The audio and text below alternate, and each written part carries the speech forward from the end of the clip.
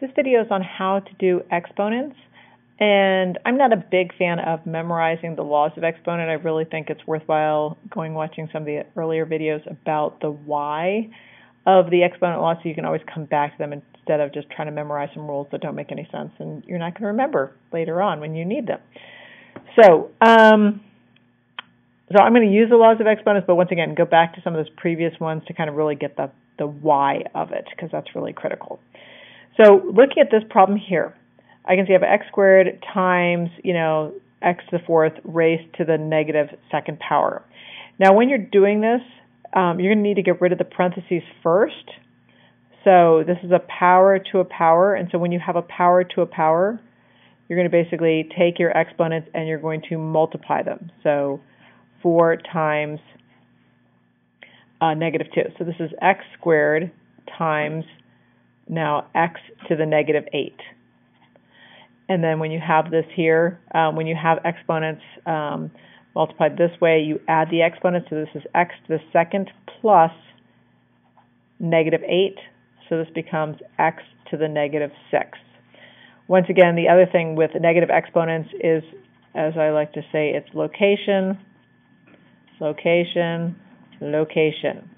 So if you see a negative exponent, you could also write this as changing the location. So imagining this is like over 1, you can change the location to the denominator. So it's in the numerator, change the location to the denominator, and when you change the location, the sign on the x of the exponent changes.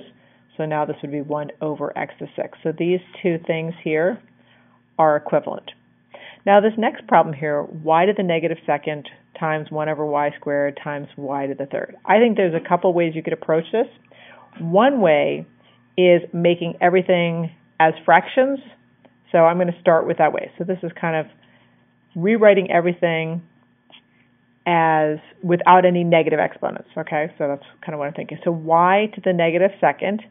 Once again, I see a negative exponent, location, location, location. So what I'm going to do is I take that y to the negative second.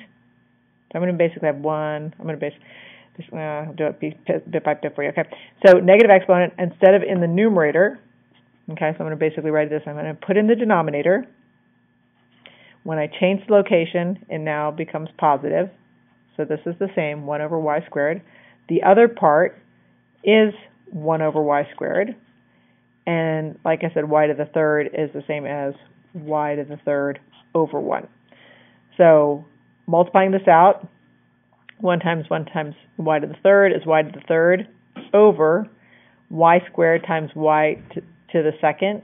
Once again, when you multiply exponents, I mean, when you multiply, yeah, things with exponents, you just add the exponents, and then times 1 would still be the same. So this is y to the third over y to the fourth.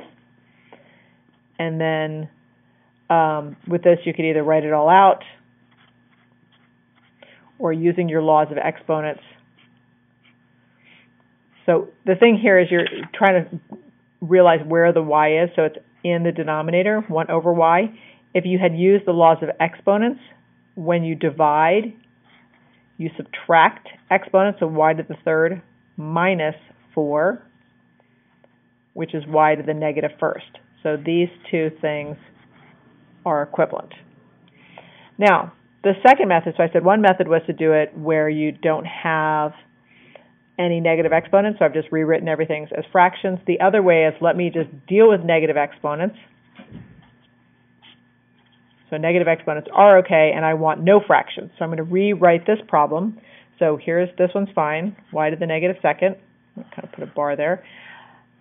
And I don't want any fractions, so I'm going to rewrite it with negative with the negative exponents if it's in the denominator. So I'm going to change the location when I change the location to the top, I also change the sign of the exponent. The other one's already in the numerator, y to the third. And then when I multiply exponents with the same base, I add the exponents. So y to the negative second plus negative 2 plus 3. So I get y to the negative 2 plus negative 2 is negative 4 plus 3, so negative 1. So I get the same answer, which one would hope, since it's the same problem. okay, problem number five. So this one here, um, you kind of have to understand, say, once again, dealing with parentheses first. 3 to the third times 3 to the fifth. What does 1 third squared mean? It means 1 third times 1 third. So 3 to the third times 3 to the fifth times 1 over 3 to the second.